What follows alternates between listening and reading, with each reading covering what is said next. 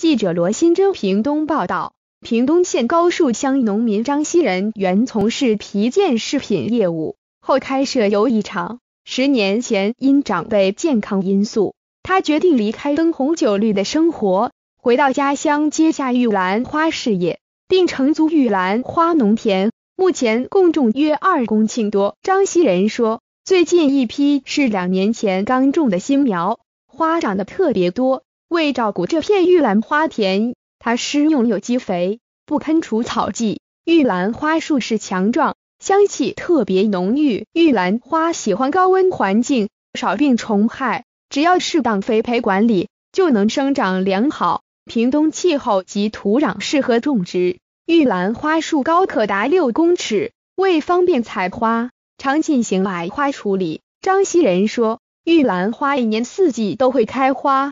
利用傍晚采花，夏季开花快，从晚间六点放到九点，一天可采收五十至六十斤。采回来的玉兰花先分级后冷藏保鲜，行口商会来购买，目前价格每台斤六十元左右。采玉兰花不能开了采采，含苞待放是最佳采收期，因为是晚上采收，所以要带头灯，错过采收期。隔天会闻到满树花开的清香，但已失去商品价值。返乡务农的张希仁曾经叛逆而差点误入歧途，如今每天在玉兰花田巡视，大部分时间忙于割草。他说：“采草生栽培，走在地面有弹性，表示土壤是活的。加以施用有机肥，植物吸收快，花朵特别大，而香气更浓郁。”务农还能兼顾家庭，收入比以前的职业好。